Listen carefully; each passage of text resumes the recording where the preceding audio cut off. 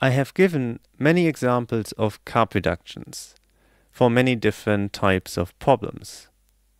And all of those problems that we discussed in the context of Karp reductions are also contained in NP. Hamiltonian cycle is an NP because we just can take a Hamiltonian cycle as a certificate which can be easily checked. Planar 3 coloring is in NP because we can just take the 3 coloring of the planar graph as a certificate which we can easily check. Subset sum is in NP because we can just specify the subset that reaches the target value as a certificate and we can easily check that indeed this subset uh, sums up to exactly the target value and so on. So all of these problems are contained in NP. And we established some relationships between them. For example, we reduced satisfiability to 3 SAT and we reduced 3 SAT to independent set, to directed Hamiltonian cycle, to graph 3 coloring, and to subset sum. And we reduced independent set to vertex cover and vertex cover to set cover. We also reduced directed Hamiltonian cycle to Hamiltonian cycle. We reduced Hamiltonian cycle to TSP we reduced graph 3 coloring to planar 3 coloring, and we reduced subset sum to scheduling with release times. But also remember the Cook-Levin theorem, this important theorem, arguably the most important theorem that I told you about.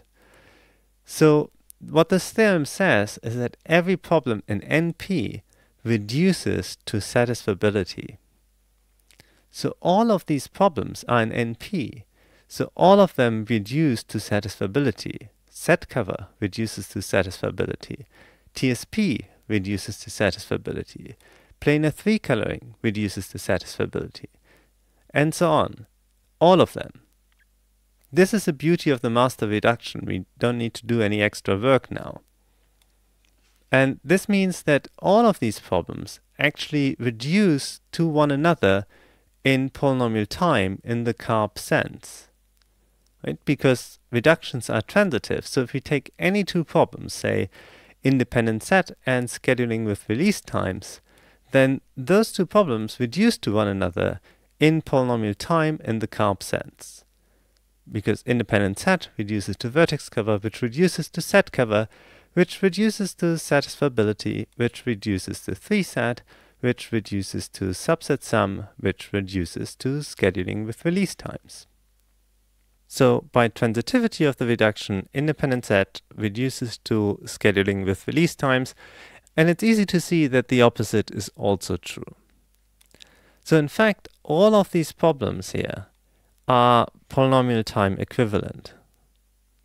They all fall into the same general category of problems, although they look very different.